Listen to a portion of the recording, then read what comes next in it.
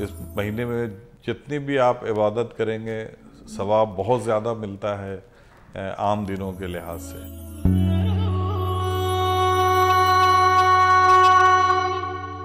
और रोज़ा जो है, वो अल्लाह की अल्लाह ताला की तरफ़ से फ़र्ज़ बना दिया गया है। जैसे नमाज़ें फ़र्ज़ हैं, इस तरह रोज़े भी फ़र्ज़ कर दिए गए हैं।